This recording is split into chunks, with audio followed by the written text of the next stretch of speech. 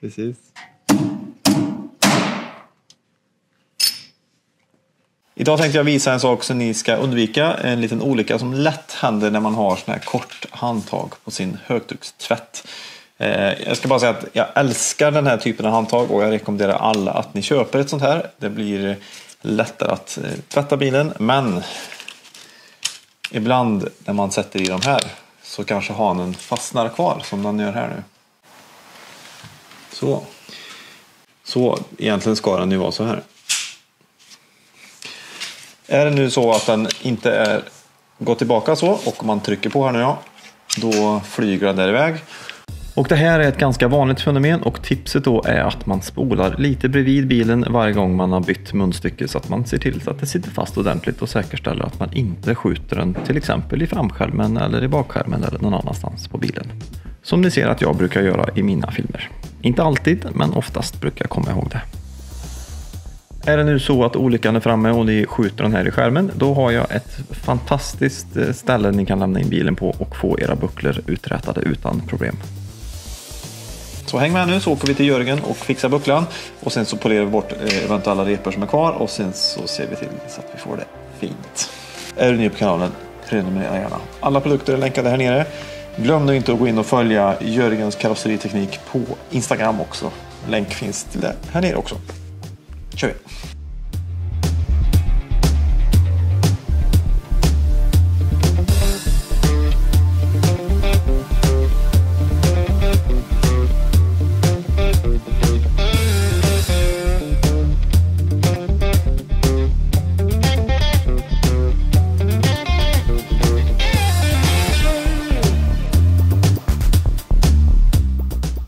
Om ni tittar noga så ser ni att det är en liten buckla här på höger bakskärm som vi ska försöka åtgärda idag och vi har ju lämnat in bilen här till Jörgens karossteknik i Karlstad för att fixa detta.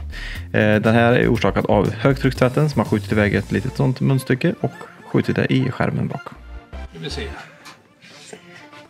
Ser vi något där? Flyttar jag mig så ser han.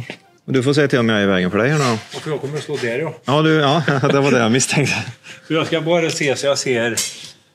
När det kommer till den här typen av jobb så är det väldigt svårt för mig att förklara exakt hur man gör, men vi ska försöka rycka ut den här bucklan med lite lim och såna här slaghammare och sen så ska Jörgen försöka hamra, dit det, eller hamra till det så att det blir jämnt och fint. Det här är väldigt svårt att förklara, men det är mycket känsla och mycket ja, inarbetad erfarenhet som gäller här tror jag. Eh, Men i alla fall, så här såg det ut. Men med dit en sån. Nu ska vi bara se. Den är ganska kall också. Vi får se om vi får... Så är det till om jag är i vägen här. Nej, bara så att jag rycker den här av din kamera. Jag backar lite här.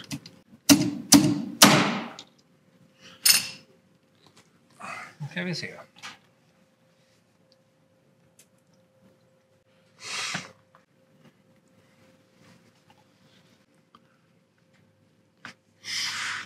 Nej, det är inte så bra kanske. Det är bättre att få upptäcka det själv. Ja, exakt.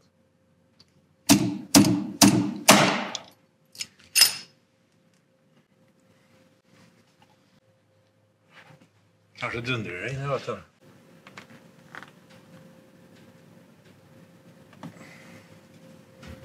Jag vill nog följa med ut. Bucklan? Ja, Smidigt. jättebra. Ja. Det gör inget. Nej.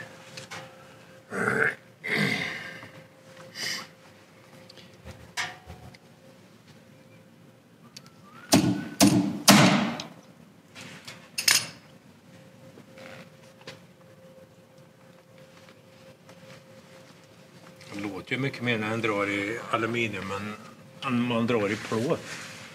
Sen tror jag att den får med allt som är. Ja. ja det, det är liksom hårdare. Ja. Ja, och så händer det ingenting när den tar bort. Nu är den ju lite annorlunda, bucklan ser man ju. Det har ju hänt lite i alla fall. Ja, alltid något. Alltid något, ja.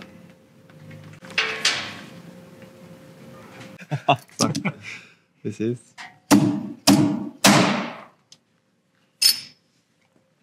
Bucklan var lite... försvann. Ja, han var svår att se där. Ja.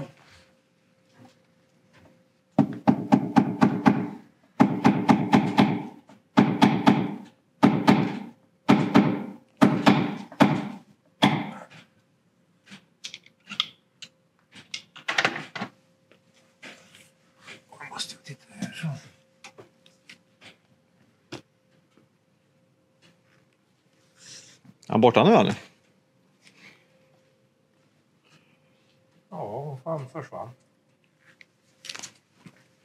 Jag får... Får du det bra i ljuset där? Ja, men jag hittar ingen buckla. Nej. Snyggt jobbat. Det gör inte jag heller.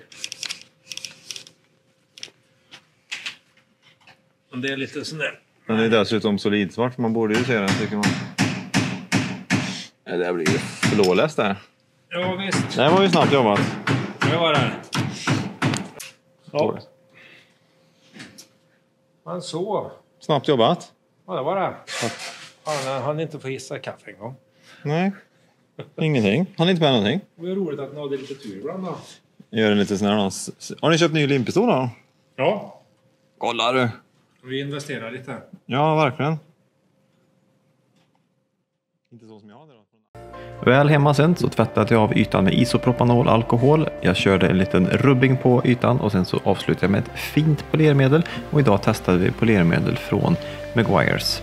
Men som absolut första steg så mätte jag även hur tjock lacken var för att se till så att jag inte polerar igenom för man vet ju aldrig hur hårt en bil har varit polerad i sitt tidigare liv.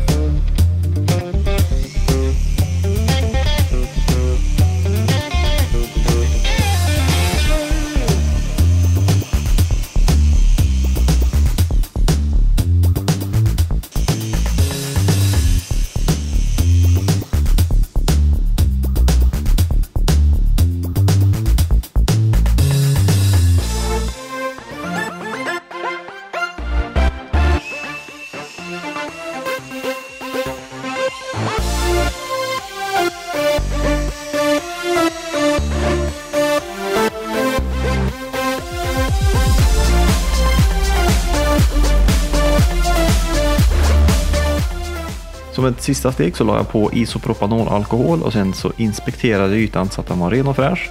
Och sen så la jag på Tearshine Refract V3 som ett skydd.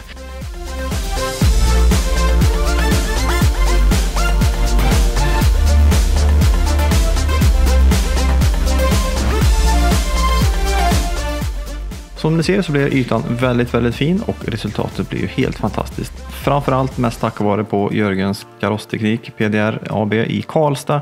Så in och kika på deras länk här nere. Stort tack till dem för att de hjälpte till att få den här bucklan åtgärdad.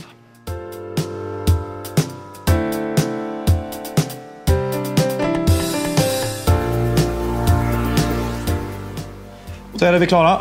Glöm nu inte att ni prenumererar på kanalen, följer och var försiktiga när ni tvättar bilen. Spruta gärna bredvid bilen först så att ni inte får det där handtaget eller munstycket rakt på bilen. Tills nästa, tills nästa video får ni ha det gött och eh, ha en bra dag allihopa. Hej på er!